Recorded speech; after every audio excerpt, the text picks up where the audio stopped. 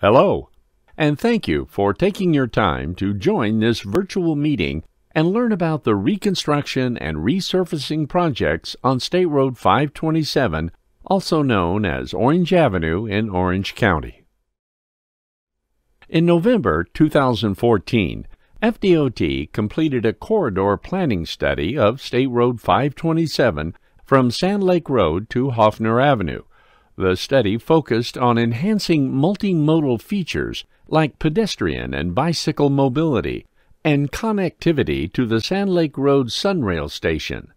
The final recommendations of the corridor planning study were used to guide the intent for these reconstruction and resurfacing projects. The Florida Department of Transportation has three ongoing design projects along State Road 527, Orange Avenue.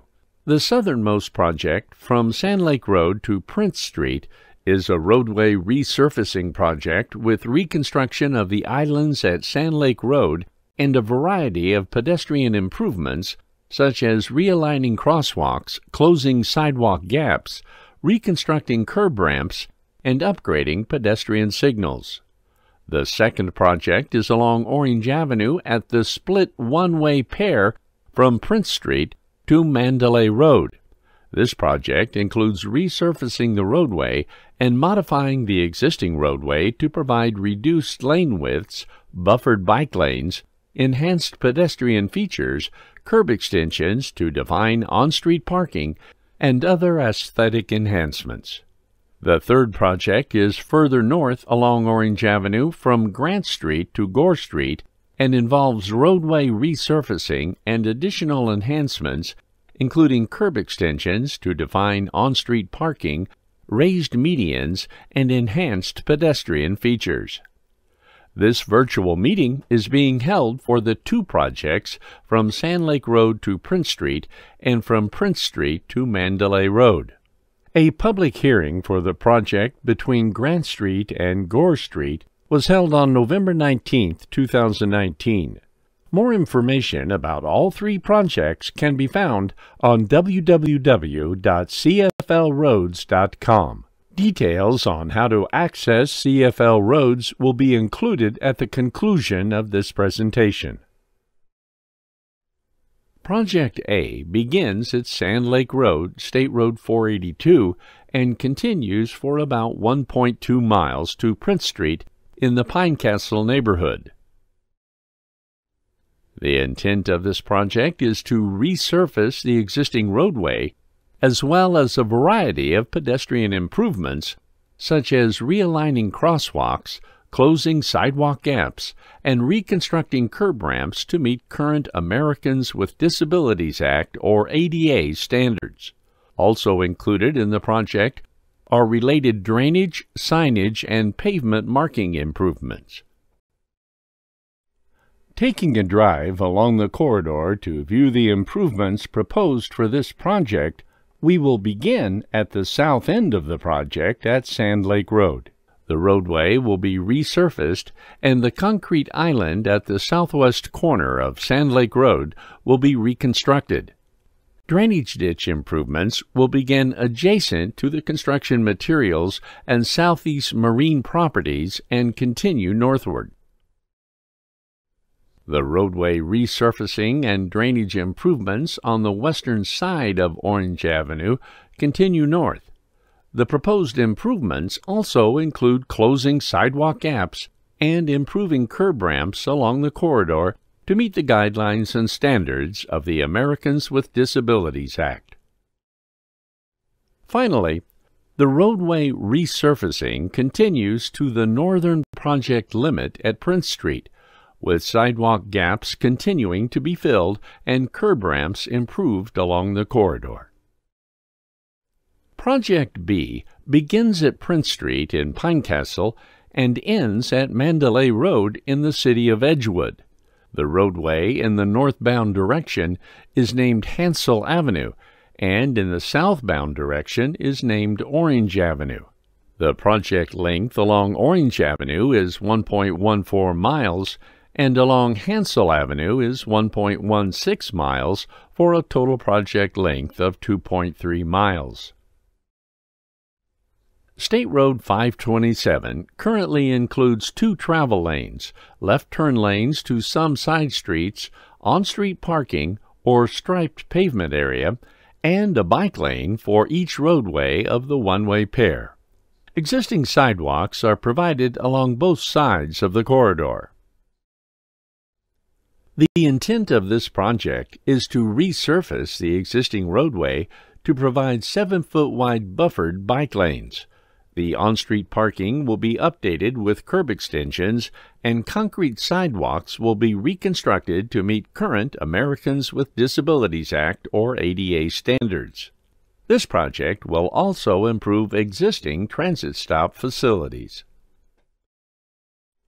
Taking a drive along the corridor to view the improvements proposed for this project, we will begin at the south end of the project at Prince Street. The roadway will be resurfaced to provide 7 foot wide buffered bike lanes. Curb extensions will be constructed to better define on street parking areas, improve roadway aesthetics, and provide general traffic calming throughout the corridor. Sidewalk and curb ramps along the corridor will be reconstructed to meet the guidelines and standards of the Americans with Disabilities Act or ADA. The roadway resurfacing and restriping continues north to create wider bike lanes.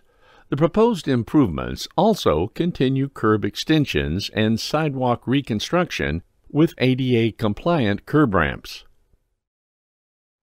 The roadway resurfacing and restriping continues to the northern project limit at Mandalay Road to create wider bike lanes.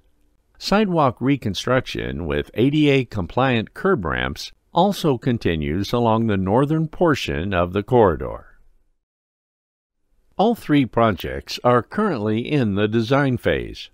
Following the design phase, the construction of projects A, B, and C is planned to be conducted together.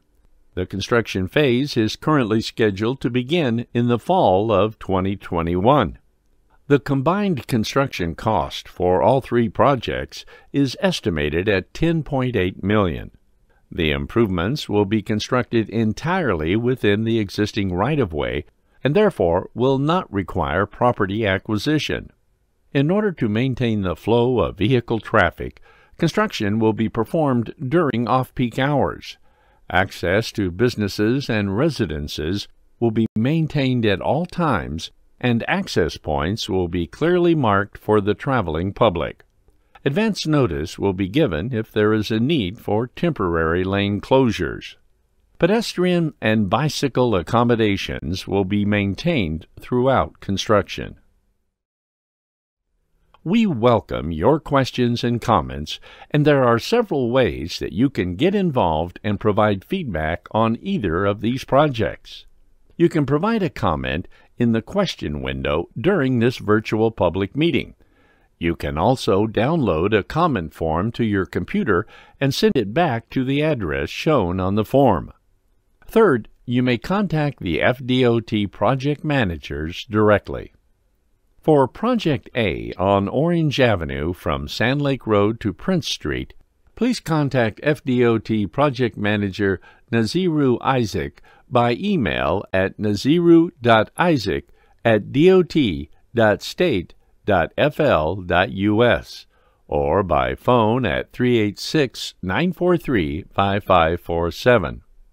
For Project B on Orange Avenue and Hansel Avenue from Prince Street to Mandalay Road, please contact FDOT Project Manager Ty Garner by email at ty.garner at dot.state.fl.us or by phone at 386 943 5299. Finally, you may visit the website for each project by going to www.cflroads.com. For Project A, type the project number 441144-1 in the search bar to locate the project page. For Project B, type the project number 435733-1 in the search bar.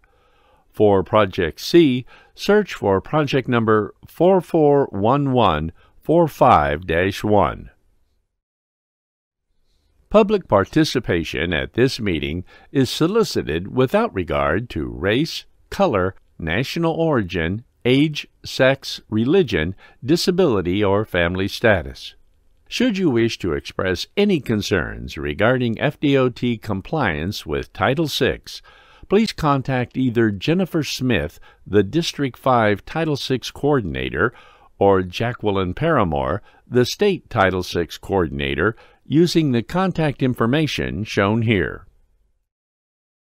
Thank you for attending this virtual public meeting. Please contact us with any questions or comments.